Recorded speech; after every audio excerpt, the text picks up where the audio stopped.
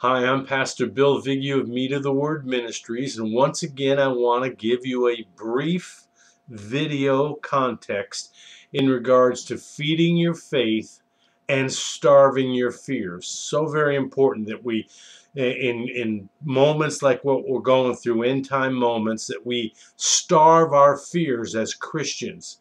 I'm not talking about being self-righteous now. I'm talking about dealing with our fear like David dealt with his fear when I am afraid.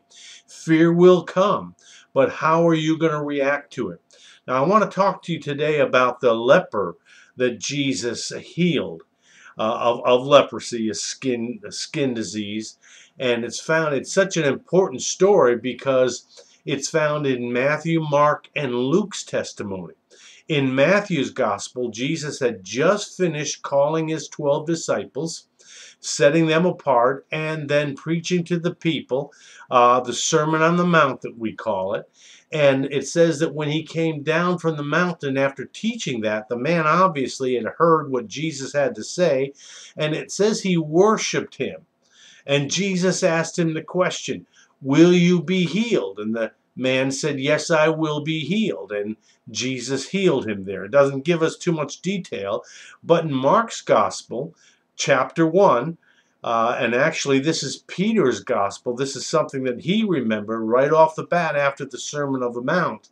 This man came and he knelt down and he worshiped the Lord Jesus Christ and he said, "You can heal me if you know if you want to." And Jesus said, "I want to."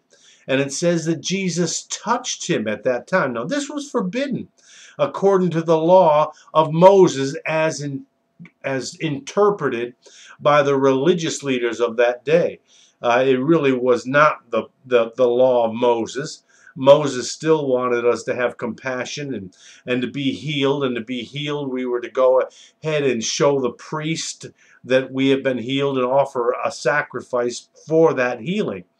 Uh, but um, the by this time, by the day that Jesus had come, uh, they they had misinterpreted the word of God. Jesus said, "All that the Jewish leaders that sit in the seats of Moses."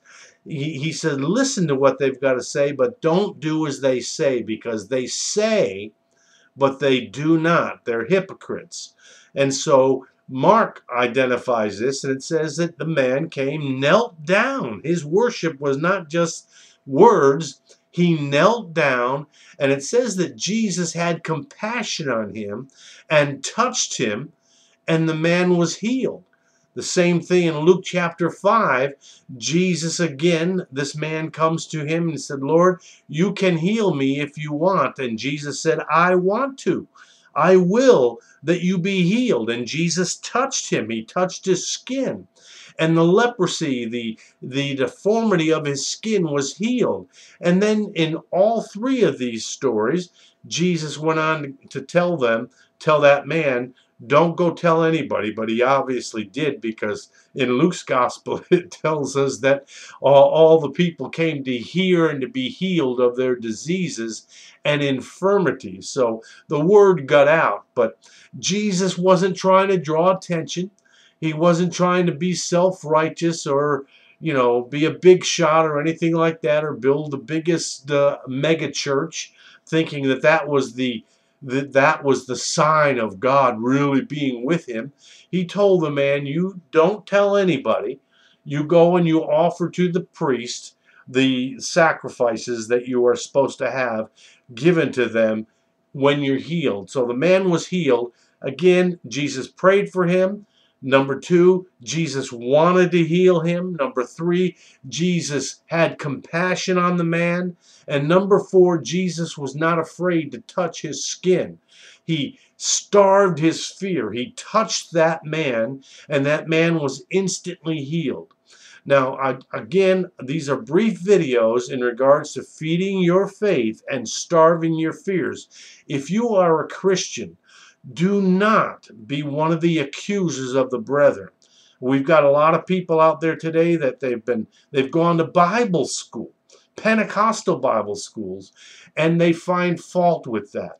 they will call you self-righteous for that. Don't be ashamed of, of doing that, of going out there and fulfilling one of the six foundational doctrines of Christ, which is to lay hands on the sick, the ministry of laying on of hands, praying for the sick, uh, and uh, you know, no condemnation on my end.